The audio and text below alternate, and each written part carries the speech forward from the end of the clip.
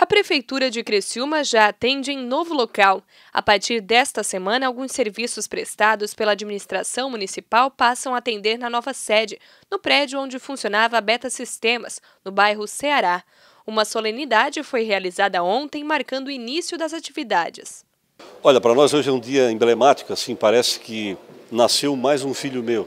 Na verdade, nós todos estávamos, todo o corpo de colaboradores da prefeitura, é, o gabinete do prefeito, os secretários, todos estavam angustiados para a retomada dos serviços, é, fundamentalmente da questão da Secretaria da Fazenda, ITBI, dívida ativa, Procuradoria do município, enfim, tudo isso que está funcionando aqui é, nesse prédio. E já, se você andar aqui, já tem bastante gente já procurando o serviço da prefeitura. Por isso, nós ficamos muito felizes que hoje é, é um marco zero deste novo período de administração do município de Criciúma e que vai ficar para a história enquanto a gente reforma o passo municipal. Conforme o Major Aldrin do Corpo de Bombeiros Militar de Criciúma, ainda faltam alguns ajustes na estrutura, mas o prédio está apto e seguro para as novas instalações.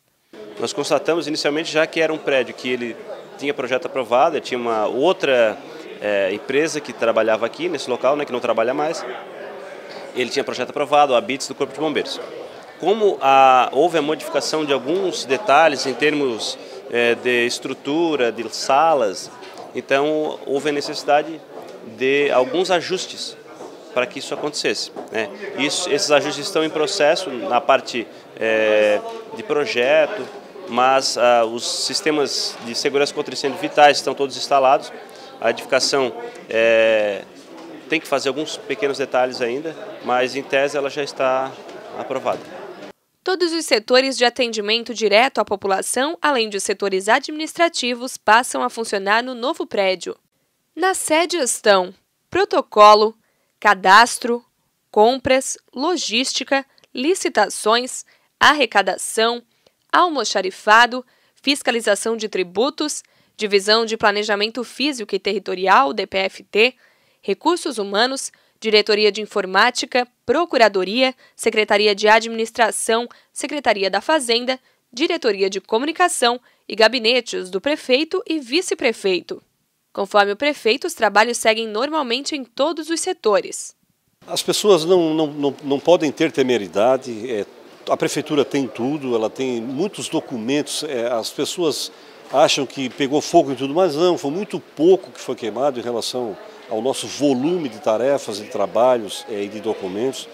É, eu tenho a certeza, assim como eu, por exemplo, que eu tinha todos os meus carnês na gaveta do prefeito lá na, na, e pegaram fogo, eu vou retomar de novo, vou buscar os carnês da, da, minha, da minha vida privada, retomar isso. E assim será com alguns projetos que entraram na Procuradoria do município, alguns projetos que entraram no Departamento de Postura, de Obras do município.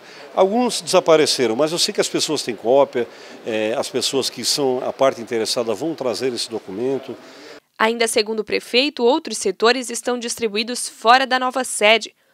Confira quais são. A Secretaria de Infraestrutura e Mobilidade Urbana segue atendendo provisoriamente no Teatro Municipal. A Secretaria de Saúde está desenvolvendo suas atividades no Centro de Referência em Saúde do Trabalhador, o Sereste, no bairro Santa Augusta. A Secretaria de Educação está na sede da Delegacia do Trabalho e a Assistência Social está no Centro de Eventos. Essa divisão é provisória até o fim da reforma no Paço Municipal. O nosso prazo é voltar para lá o mais rápido possível. Estamos fazendo muitas ações, estamos fazendo muitos projetos, muitos planos para, em menos de um ano, talvez a gente voltar a atender na sua plenitude lá no Paço Municipal.